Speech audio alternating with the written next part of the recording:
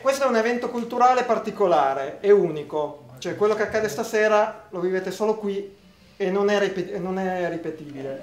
Ha a che fare con pochi librai, i migliori librai di Torino, e con uh, degli ottimi autori. Arriviamo alla cena. Eh... Questa poesia io quando ho aperto la libreria la prima cosa che ho fatto prima di mettere tutti gli scaffali è stata appenderla là, e, e dietro questa piglia, infatti la trovate ancora lì incorniciata. È una poesia che, che è un po' la, la, mia filosofia di vita, che mi dà una serenità ogni volta che la leggo, una speranza per il futuro eh, ed è il lavoro silenzioso che cerco di fare tutti i giorni e, e, e il lavoro al quale mi aiutate a, al quale non so, mi sta filmando. Ho sbagliato le, le preposizioni articolate però il vino era buono eh? era buono.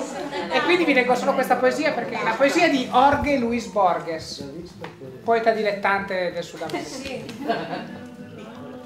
Un uomo che coltiva il suo giardino come voleva Voltaire chi è contento che sulla terra esista la musica chi scopre con piacere una etimologia.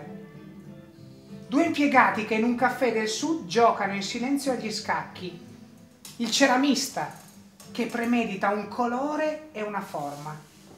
Il tipografo che compone bene questa pagina che forse non gli piace. Una donna e un uomo che leggono le terzine finali di un certo canto. Chi accarezza un animale addormentato, chi giustifica o vuole giustificare un male che gli hanno fatto, chi è contento che sulla terra ci sia Stevenson, chi preferisce che abbiano ragione gli altri. Tali persone che si ignorano Stiamo salvando il mondo.